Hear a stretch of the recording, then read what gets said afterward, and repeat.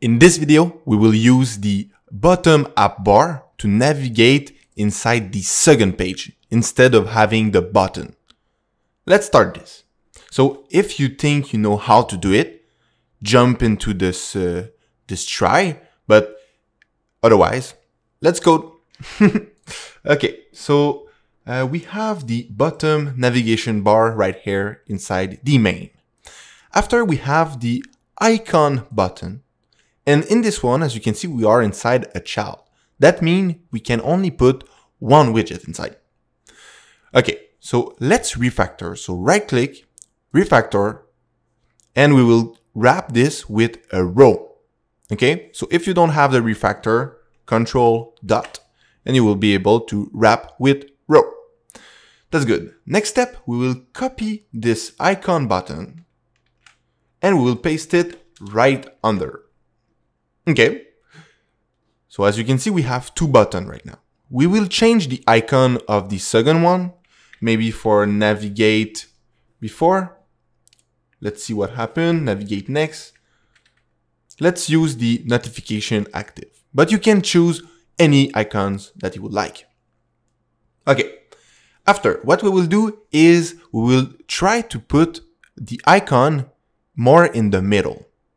Let's do that. And we will introduce a brand new widget, the spacer.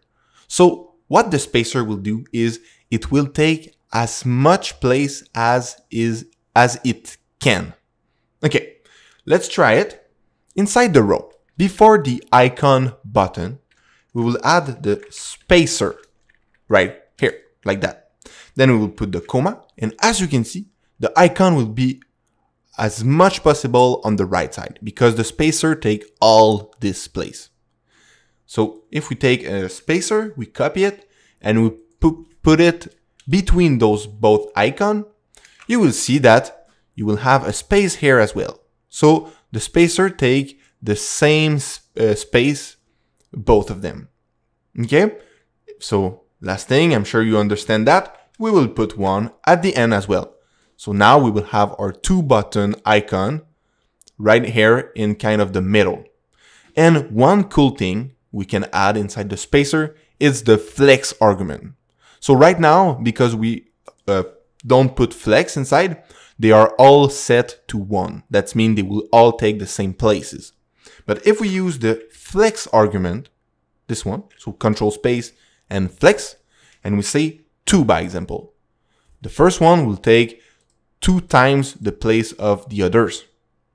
And if we put, by example, a flex of this one as well, and we put five, this one is it's pretty much a, easy ratio to easy ratio to understand. So we will put them all at zero, at one, I mean. So I will remove the flex, and that's it. So as you can see, if we go over spacer, we can see that the flex is equal to one uh, normally. Good. So we have add a new button. What we will do now is click on this one and go to the other page. Okay, we can go up and find our navigator of context that push named and the second route name. But we will try to rewrite it to learn it this time. Okay, we take the second button and try to do it before I do it. Okay, so the first thing to call to navigate is the navigator. So navigator. Next step, what we need to do is add a dot. So after, as you can see, we have the first suggestion. It is the of. So the of context. And then after this one, we will add the push named. That's good. And finally, we will add the route name. And this one is the name of the class second page. And with the static inside this one, the route name. So we go back inside the main and we say second page dot route name. And we put the semicolon at the end. And now when we will click on this icon, we will go through the second page. That's it. So that was it for this video and see you on the next one. Bye.